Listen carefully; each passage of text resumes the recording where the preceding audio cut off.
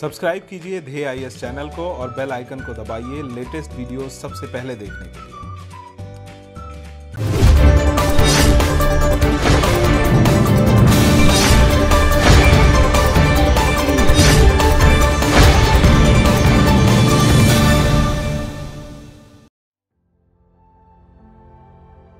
सोलह जनवरी को केंद्रीय गृह मंत्री अमित शाह और ब्रू शरणार्थियों के प्रतिनिधियों ने त्रिपुरा के मुख्यमंत्री बिप्लब कुमार देव और मिजोरम के मुख्यमंत्री जोरमथंगा की मौजूदगी में मिजोरम से ब्रू शरणार्थियों के संकट को समाप्त करने के लिए एक समझौते पर हस्ताक्षर किया है।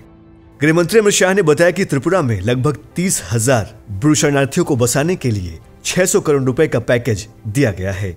गृह मंत्री शाह ने बताया कि ब्रू शरणार्थियों को वहाँ पर 40 बाई 30 फीट का एक आवासीय प्लाट मुहैया कराया जाएगा और समझौतों के मुताबिक उनके परिवार के नाम पर धनराशि फिक्स डिपॉजिट की जाएगी। इसके साथ ही इन शरणार्थियों को पाँच हज़ार रुपए प्रतिमाह धनराशि की नगद सहायता दी जाएगी। गृह मंत्री ने कहा कि अगले दो सालों तक ब्रू शरणार्थियों को पूरा राशन भारत सरकार द्वारा दिया जाएगा और मकान बनाने के लिए एक दशमलव पाँच लाख रुपए की रकम भी बतौर सहायता दी जाएगी। डीएनएस में आज हम समझेंगे कि ब्रू जनजाति क्या है, साथ ही समझेंगे कि ब्रू जनजाति मिजोरम को छोड़कर त्रिपुरा का रुख क्यों कर रही है। ब्रू पूर्वोत्तर में बसने वाला एक जनजाति समूह है। मिजोरम के ज़्यादातर ब्रू जनजाति के लोग मामित और कोलासिब जिलों में रहते हैं। पहले ब्रू जनजाति का त्रिपुरा में विस्थापन हुआ था। आमतौर पर इस जनजाति को रियांग भी कहा जाता है। यह जनजाति ब्रू भाषा बोलती है और इस भाषा की अपनी कोई लिपि नहीं है। ब्रू जनजाति के अंतर्गत अनेक उपजातियाँ आती हैं। ब्रू जनजाति के लोग पहले झूम खेती करते थे जिसमें जंगल के एक हिस्से को साफ़ करके वहाँ खेती किया करते थे। कुछ सालों बाद ये उस ज़मीन को छोड़कर जंगल के दूसरे भाग में खेती करने के लिए चले जाते थे। ऐसे में ब्रू जनजाति के लोगों को बंजारा जनजाति भी माना जाता है। दरअसल ब्रू जनजाति के मिजोरम से त्रिपुरा प्रवास का कारण मिजो जनजाति का ब्रू जनजाति को बाहरी जनजाति समझना और उनके साथ हिंसा करना माना जाता है। आमतौर पर पूर्वोत्तर में लोग अपनी जाति पहचान, जैसे खान पान पहनावा और भाषा को लेकर बहुत भावुक होते हैं। जनजाति पहचान को मुद्दा बनाकर वहाँ लोग अलग राष्ट्र की मांग करते आए हैं।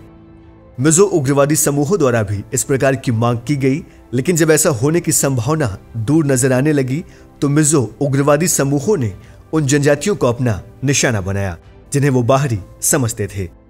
साल उन्नीस सौ पंचानवे में ब्रू और मिजो जनजातियों के बीच टकराव बढ़ने से यंग मिजो एसोसिएशन और मिजो स्टूडेंट्स एसोसिएशन ने ब्रू जनजाति को बाहरी घोषित कर दिया। इसके बाद ब्रू जनजाति मिजो जनजाति के निशाने पर आ गई।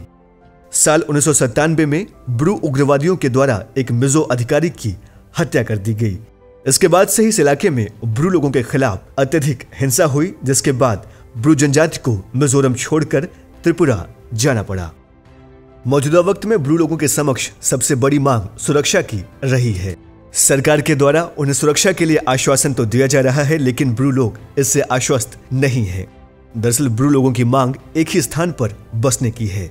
वे अपने मंदिर और खेतों के लिए ज़मीन की मांग कर रहे हैं, जिसे मिजोरम सरकार द्वारा स्वीकार नहीं किया गया। ब्रू लोगों द्वारा मिजोरम में विधानसभा और नौकरियों में आरक्षण की मांग की गई है, जिसे मिजोरम सरकार द्वारा अस्वीकार कर दिया गया है। ब्रू जनजाति को स्थायी जीवन देना भी सरकार के लिए प्रमुख चुनौती है। ब्रू जनजाति घुमक्कड़ जनजाति है। ऐसे में ब्रू जनजाति को किसी एक स्थायी निवास के लिए सहमत करना भी बड़ी समस्या है। ब्रू जनजाति को मूल स्थान प्रत्यावर्तन के लिए आधारभूत सुविधाओं जैसे भोजन, निवास, शिक्षा और स्वास्थ्य आदि की ज़रूरत है, जिसे उन तक पहुंचाना एक प्रमुख चुनौती रही है।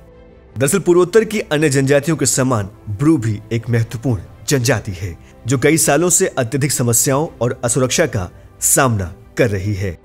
सरकार द्वारा इस जनजाति के पुनः प्रत्यावर्तन के लिए अनेक प्रयास किए गए, लेकिन सरकार के लिए इनका अभी भी सुरक्षित प्रत्यावर्तन करना एक बड़ी चुनौती है।